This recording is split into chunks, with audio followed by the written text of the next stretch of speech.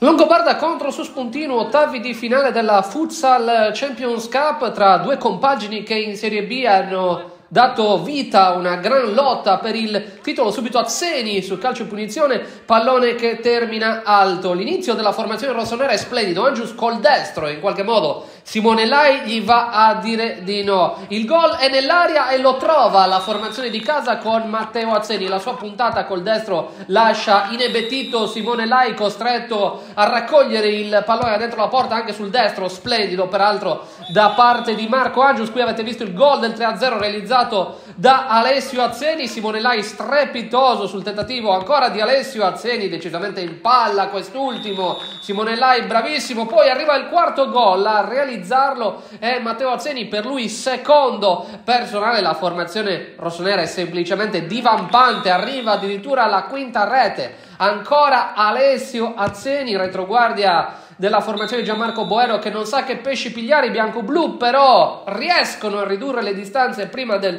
duplice fischio. L'autore del gol è Pregio. Con le immagini realizzate alla futura dal nostro Andrea possiamo passare alla ripresa. Grande avvio della formazione di casa, ancora segno con Marco Angius, punteggio di 6 a 1, poi Matteo Azzeni. 7 a 1, quindi ancora Angius per il gol dell'8 a 1, punteggio pesantissimo quello della futura Diesel Argius, la squadra della Longobarda continua ad attaccare qui Azzeni, conclusione deviata, palla che sbatte sul palo, poi Angius per Alessio Azzeni, il suo destro termina alto. Angius che nel finale andrà a colpire il palo, finisce così clamoroso. 8 a 1 col quale la Longobarda si qualifica ai quarti, affronterà il Pistoleros.